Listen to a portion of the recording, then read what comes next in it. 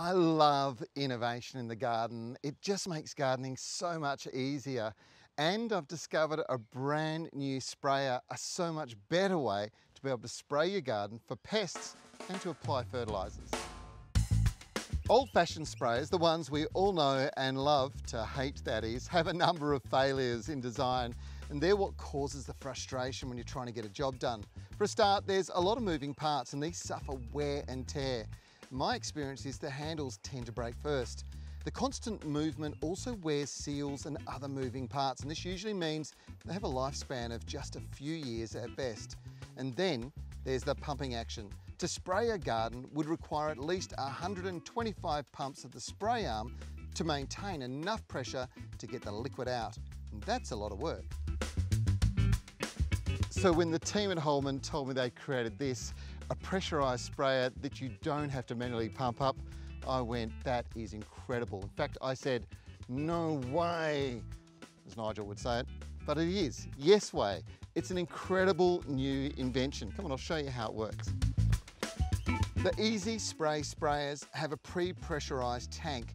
Now before you fill the sprayer with water, check that you have at least one bar of pressure on the gauge. If not, pump it up with a bike pump until there is. Then fill by grabbing the garden hose and pressurising using that pressure. Watch until the tank is full and you're ready to go. Of course, it works just like a normal sprayer once you're ready to get out and use it in the garden. And it's brilliant for just misting your favourite plants if you've got a glass house or something like that. Applying liquid fertilisers over the top of plants like this, or applying fungicides, herbicides or insecticides.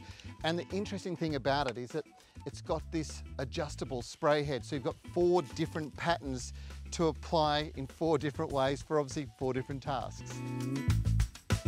One of the reasons so many sprayers fail is the bad habit of leaving chemical residue in the bottom of the tank after spraying. And it's very important you care for your sprayers the right way, which means after treating anything in the garden, whether it be using a chemical or fertiliser, it's vitally important you rinse the tank afterwards. So fill the tank once empty with fresh water.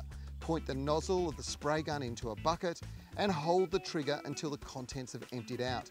Then take your EzySpray and store it in a cool, dark place, like the garden shed.